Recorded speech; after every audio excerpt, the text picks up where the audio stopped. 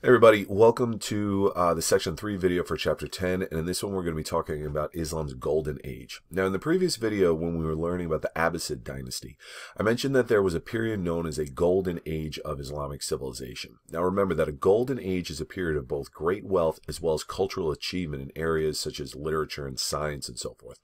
Let's first take a look at the source of the great of this great wealth that the Muslim world is experiencing at this time, which is due primarily to Muslim trade once I get this. There we go. Okay.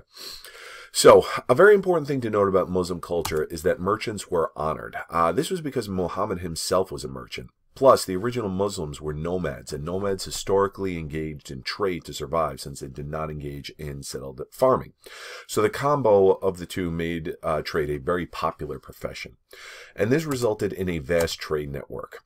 Uh, now, let's look at the map here. The map shows all of the different trade routes. You notice how they picked up trade routes that went all the way over to China, okay, along the Silk Road here, all throughout North Africa. You got even up into Europe, particularly Spain, because remember, Spain was a part of the Muslim Empire, but they did a lot of business in Italy with those Italian city states, obviously the Middle East. Now, these land routes uh, that you see, uh, particularly in the Middle East, they made regular use of camels. Um, you know, while the sea merchants, they use these ships called dhows. Now, you notice the sea routes, particularly in the Indian Ocean and the Mediterranean, uh, these dhows were lightweight ships. Uh, they sailed extensively over the water, so it was very common to see them pulling into ports, uh, not only in the Mediterranean, but as far away as the South, uh, South China Sea. Now, trade, like we've been saying all year, leads to cultural diffusion, right? Trade and warfare, they lead to cultural diffusion. Muslim merchants brought their culture with them, and they also picked up cultural elements from people they encountered. An example of, you, of this is the use of Indian numerals. Move me out of the way. You can get a better look at this. I'll move me up here. Okay, so our own number system is based off of what we call Arabic numbers, right? Here's our modern system where we got, whoop, didn't mean to do that, but anyway, 0, 1, 2, 3, 4, 5, 6, 7, 8, 9, and so forth. And that is kind of derived from this Arabic one. But you notice how the Arabic one is derived from an earlier Hindu system. That was because Arab merchants adapted their own number system from that of India.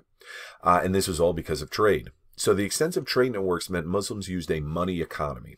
Uh, and this led to new business practices, such as selling on credit and the use of checks.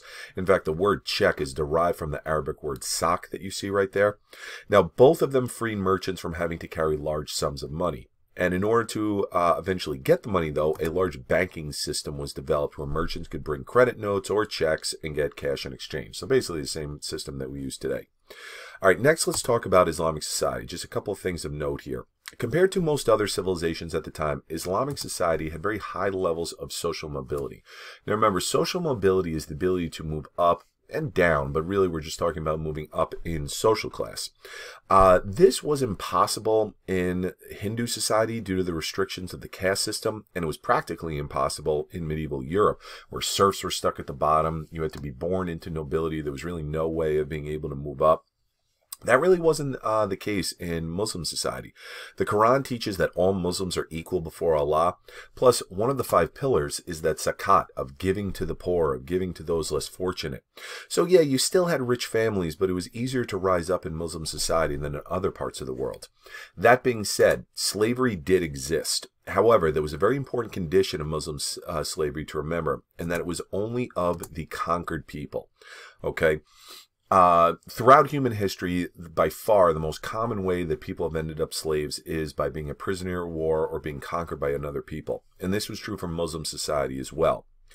But there was a little bit of a get out of jail free card. Uh, Muslims were not supposed to own other Muslims. It wasn't a set in stone rule where they could never. Uh, but if a non-Muslim slave converted to Islam, it didn't automatically get him or her out of slavery, but it did certainly increase their chances uh, of being freed at some point. Okay, so we've talked about how trade led to wealth. Now let's get into the other part of the Golden Age, the cultural achievement. Starting first with literature.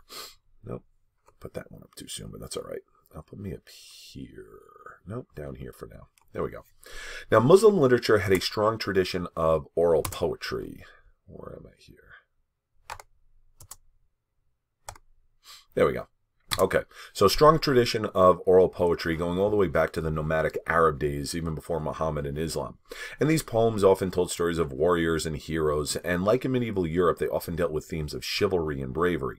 Now, poetry wasn't the only form of storytelling. The most famous collection of tales from the Arab world was uh, a collection of tales called The Thousand and One Nights, and it was a, collection of very well-known Middle Eastern folk tales, some of which have remained part of uh, popular culture to the modern day. Things such as Sinbad the Sailor, you see this one over here, Ali Baba and the Forty Thieves, Right, the famous saying, open sesame in order to get into the cave.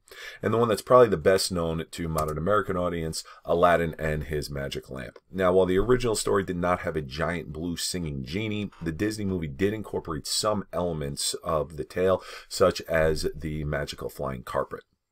Now, Muslim architecture uh, was heavily influenced by Byzantine buildings, uh, especially the use of domes and arched doorways. The Dome of the Rock let me get me out of the way so you get a better picture of it. Okay, we looked at that. We looked a quick picture of that in the last section.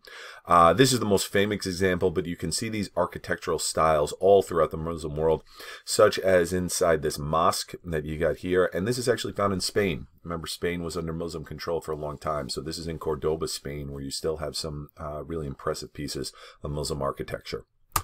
Now, why there we go. Okay. Uh, art. Now, art is a very interesting aspect of Muslim culture. Uh, to understand Islamic art, Islamic artistic styles, it's important to remember a very important religious belief in that idols are a no-no. Right? Idolatry was banned by Muhammad. Now, remember that idols are statues or pictures of religious figures. Um, Hinduism uses them a lot for all their different gods. Here you have the god Ganesh here. Uh, Christianity in uh, in Christianity, crucifix is an example of an idol.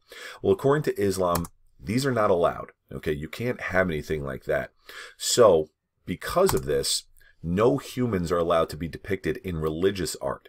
That's why if you ever go into a mosque, you will never see paintings, stained glass windows, uh, statues of religious figures like Muhammad, anything like that. And because of these restrictions, the insides of mosques were decorated largely with geometric uh, shapes and repeating patterns. You're like, well, what does that mean? Let's take a look. All right, this would be a typical uh, artistic depiction. Things like this, and that and so forth.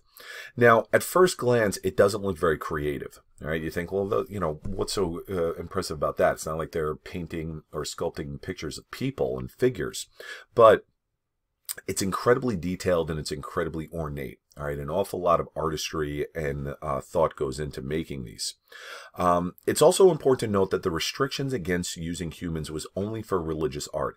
Non-religious art, such as a lot of the drawings that we've seen throughout the course of this chapter already, uh, they were okay that you could use humans. Okay, so again, it was only for religious art.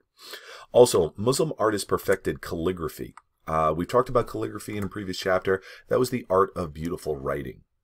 All right, let me get that out of there. Arabic script kind of lends itself well to it. Uh, it's kind of a flowing scriptive language, uh, and this was especially uh, used for writing out verses of the Quran. Now, no golden age would be complete without some impressive advances in learning. And the Islamic Golden Age was no exception. In the last section, we discussed how Baghdad, the capital of the Abbasid Empire, became a center of learning, with massive libraries, and they attracted scholars, philosophers, doctors, all people like that. And an important aspect of these learning centers was that they preserved the work of ancient Greece. All right, this picture here shows a group of men learning from a wise scholar. Okay, here's your wise scholar there. That scholar is actually Aristotle, the famed Greek philosopher we learned about back in chapter 4. Remember those big three philosophers of Socrates, Plato, and Aristotle. You're like, well, why is Aristotle in a uh, depiction of Muslim scholars? And that's because Muslims were a big fan of Aristotle, and they preserved his writings when much of it was lost to Western Europe in, uh, during the Dark Ages. Now, advances were also made in math, most notably with the development of algebra. The word itself is derived from the Arab word al-jabar, as you see here. So you have Muslim scholars to thank when you're learning about the quadratic formulas, fun stuff like that. They also adapted Arabic numerals uh, from India, as we discussed before. Uh, and they also figured out to, uh, the circumference of the globe. Remember, circumference meaning the distance of a circle all the way around.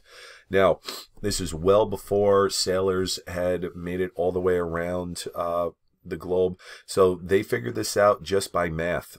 Uh, they determined the Earth was round simply by using math, and this was done hundreds of years before Columbus sailed across the Atlantic. Now, in addition to math, advances were also made in medicine. Medical understanding in the Middle East was far more advanced than in Europe at the time. It was also more efficient, and this was largely due to government run hospitals. Caliphs paid for hospitals where the sick and injured could be treated. Uh, this reduced the risk of infection, and it also made it easier for doctors to treat them. Eventually, these Muslim medical books, let me get me out of the way here so you can see the whole thing. There we go. Eventually, these Muslim medical books became the basis for European uh, medicine after these books started to make their way back into Europe following the Crusades. All right, so that wraps things up for this one and uh, the Muslim Golden Age, and uh, we will talk in section four about Islam spreading into India.